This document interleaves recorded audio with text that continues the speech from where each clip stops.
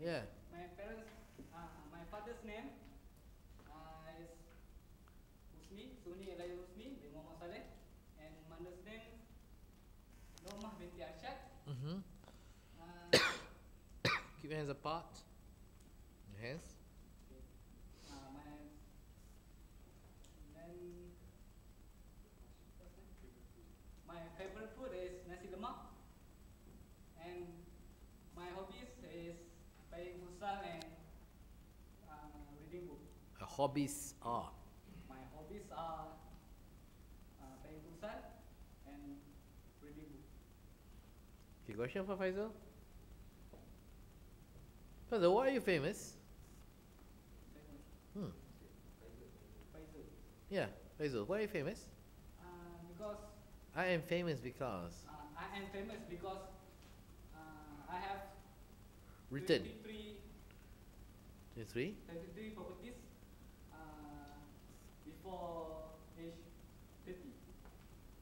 How did And- you do that? Ah,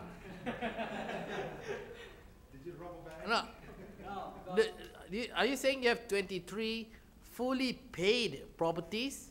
no, Or you have 23 properties with the bank loan? uh, yes, with the bank loan. Uh, What's so great about that? because uh, I my apartment Uh huh. uh, I rent it to the other people and then uh, I have my own book. Uh, title is WTF. What the fuck? No, What, the- what, what, what? Is it WTF? uh, What the what? WTF? WTF.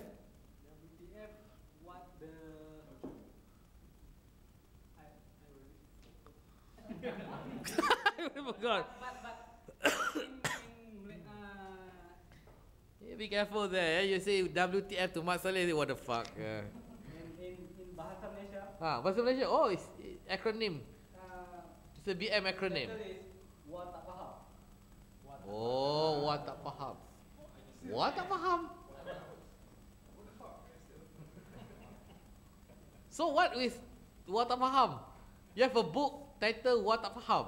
uh, teach how to to uh, buy the properties and then uh, how to arrange with the lawyer and then with the bank Huh. and then how to uh, rent it to the other people. I mean, you can write a book on that. People will buy.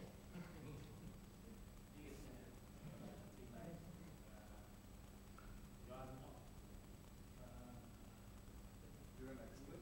using using the rent to pay the mortgage. Not you are not uh, going to pay by uh, by your own pocket. So are you saying that all your 23, for all your 23 properties, your rental is higher than the mortgage repayment? Uh, this income from the rent, the, uh, the apartment, more than his salary. No, no, no. Uh, what I would like to know is, is the rental that you get from the properties Yes. more than the mortgage The loan. repayment?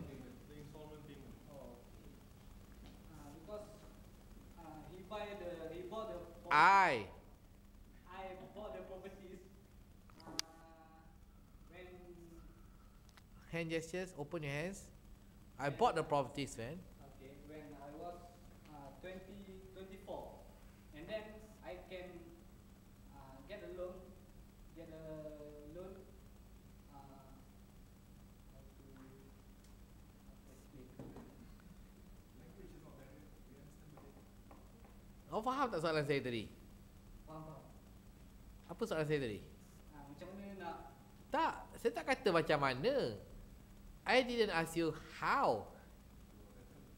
I said, I, I- my question just now, okay, yeah, do your, does your rental income, is your rental income higher than your mortgage repayment?